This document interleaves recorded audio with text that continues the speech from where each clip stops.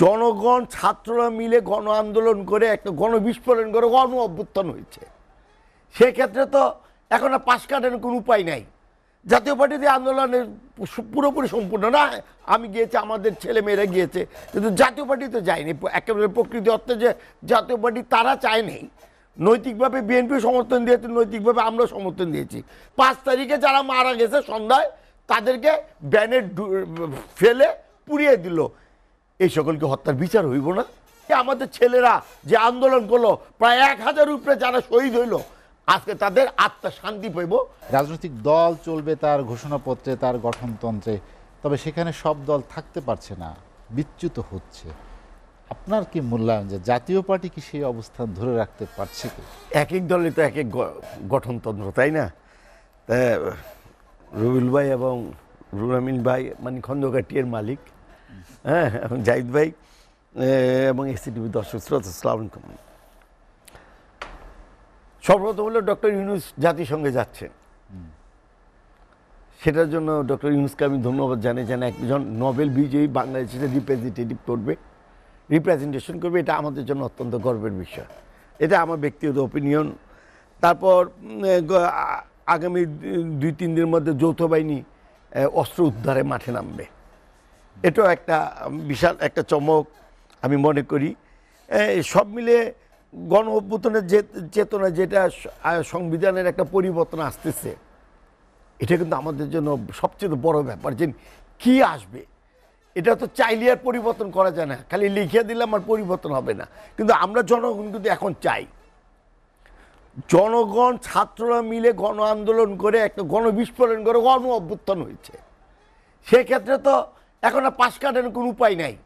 জাতীয় পার্টিতে আন্দোলনের পুরোপুরি সম্পূর্ণ না, আমি গিয়েছি, আমাদের ছেলে মেয়েরা গিয়েছে, কিন্তু জাতীয় পার্টি তো যায়নি। একেবারে প্রকৃতি অর্থে যে জাতীয় পার্টি তারা চায়নি। নৈতিকভাবে বিএনপি সমর্থন দিয়েছে, নৈতিকভাবে আমরা সমর্থন দিয়েছি। বিএনপি ছাত্রদল যুব দলের ছেলেরা গিয়েছে, এটা অস্বীকার করে আমি মাস মাঠে ছিলাম আমি দেখেছি আমাদের জাতীয় পার্টি অনেকে গিয়েছে। তা পার্টির উনারও কিন্তু খুব কৌশলভাবে সমন্বয়কারীরাও কেউ আহ্বায়ক হয়নি। এটা ভালো। এই যে সমন্বয়কারীরা আহ্বায়ক হয় নাই এবং সমন্বয়কারী ইকুয়াল ছিল, সেখানে কিন্তু একটা ভারসাম্য ছিল, জানেন? যদি একজন আহ্বায়ক হইতো, তাহলে তার দ্বারা সম্পূর্ণভাবে নিয়ন্ত্রিত করতো, এই আন্দোলন আর হইতো না। তাহলে এককভাবে, একক সিদ্ধান্তে দেশ চলতে পারে না এটি হলো বড় কথা। গেল প্রধানমন্ত্রী, সাবেক প্রধানমন্ত্রী যিনি ছিল একক, আপনি পানির কথা বলেন, সাবেক প্রধানমন্ত্রী কি বলে, বিদ্যুতের কথা বলেন সাবেক প্রধানমন্ত্রী কি বলে, দেশের নির্বাচনের কথা বলেন? সাবেক প্রধান তো তোরা আসিলি গেলি এই যে পদ্মা সেতুর গত পাঁচ তারিখ থেকে এই পর্যন্ত আঠারোশো আঠারোশো তেইশ কোটি টাকা তারা সাশ্রয় করছে। How come within twenty five days not more than I think so তো যদি সাশ্রয় করতে পারে এই পঁচিশ দিনে আঠারোশো তেইশ কোটি টাকা, তাইলে এটা কি এই যে চুরি এই চুরিগুলি সাবেক প্রধানমন্ত্রী ছিল বিদ্যুৎ খাতের টোটাল। বিদ্যুৎ খাতে ছিল না উনি তো আল্লাহ দিলে উনি ছিল বিদ্যুৎ সে- বিদ্যুৎ খাতে বিশাল একটা হরিলুটের চিফ। তার সিন্ডিকেটে ছিল চারজন। একজন কি কি বোধহয় এই যে কি আলাই তৌফিক আলাই মন্ত্রী প্রতিমন্ত্রী নসরুল খান দীপু আর দুইজন সচিব বোধহয়। দুইজন সচিব আবুল কালাম আজাদ আর একটা কি জানি কায়ুম নাকি কি জানি। কাইকাউস। এরা মিলে প্রায় হ্যাঁ? কাইকাউস। কাই কাউস বাপরে বাপ নামও। চুরি হয়ে মন করছে নামও এমন শক্ত। না এই এই এই গ্রুপগুলি আমি বুঝি না। এত বড় একটা আন্দোলন হলো তারপর আপনার আইনে শাসন বলেন। আইনের সাথে ধৈরা নিয়ে দু একটারে বাইতুল মকরমা গুলিস্তান চত্বরে ঝুলাই দিল না কেন?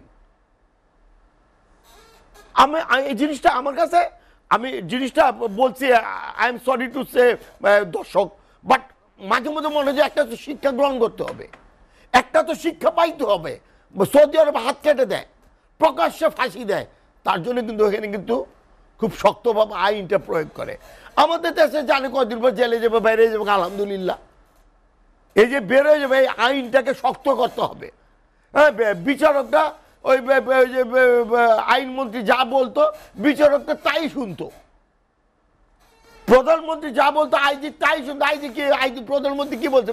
বিফোর পঁয়তাল্লিশ মিনিট আগে যে আমার পুলিশ পুলিশ শুনতেছে গুলি করার অর্ডার দিলে তারা গুলি করে। আপনি আর্মির অফিসার আপনি আর্মির চিফ আপনি কেন আমার কথা শুনছেন না? বাই যাবে I don't know what happen is there এই যে কথাটা বলল, তার মানে তারা এক এই যে হত্যা এই যে আশুলিয়া যে হত্যা হইল, আশুলিয়া থানার যে ছয় সাতজন পুলিশ অফিসাররা ছিল এবং পুড়িয়ে দিল, এটা কি কষ্ট লাগে না? কেউ কেউ কিন্তু জীবিত ছিল, আহত অবস্থা ছিল। আবার কয়েকজন ভদ্রমহিলা দেখল সাক্ষাৎকার দিল, চার তারিখও হয়েছে এই ঘটনা। চার তারিখও গুলি করে মানুষ মেরেছে। পাঁচ তারিখে যারা মারা গেছে সন্ধ্যায়, তাদেরকে ব্যানে ফেলে পুড়িয়ে দিল। এই সকলকে হত্যার বিচার হইব না? পুলিশ যদি ভাবে যে এই দেশের দেশ পরিচালনা করব, বা আমেরিকা তো পুলিশের নাম চেঞ্জ হয়ে যায় অনেক জায়গায় দেখছি অনেক অনেক প্র- প্র- প্রদেশে শেরিফ বলে শেরিফ পুলিশে বলে। এই যে polite obedient gentleman that police call we are সে এই পুলিশের নাম পরিবর্তন করাই দরকার। আমি মনে করি সময়ের প্রয়োজনে, যেমন বিডিআর ছিল বিজেপি হয়েছে কারণ তাদের একটা শিক্ষা হচ্ছে আমাদের কারণে এই পুলিশের নাম পরিবর্তন হয়েছে পুলিশ এখন থানায় ঢুকে ভালো ব্যবহার করে। এই ব্যবহার বাইরে ভাই, কি যে পুলিশের থানাটা ছিল আওয়ামী লীগের অফিস। আওয়ামী লীগের কার্যালয়। আমি একটা ছাত্রলীগের একটা ছেলের বলছিলাম, কি ব্যাপার? খুব তন্ন, তুমি খুব অ্যাক্টিভ কয়, ভাই, বিশ্বাস করবে না।